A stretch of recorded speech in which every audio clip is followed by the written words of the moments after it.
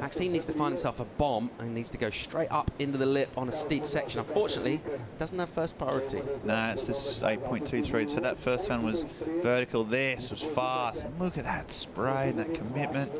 And then this is where he comes around. You can see him here and then just squirts it there, slides out, and then somehow, despite that wave, just all the direction coming down the opposite direction, he just redirects and rides out with real control.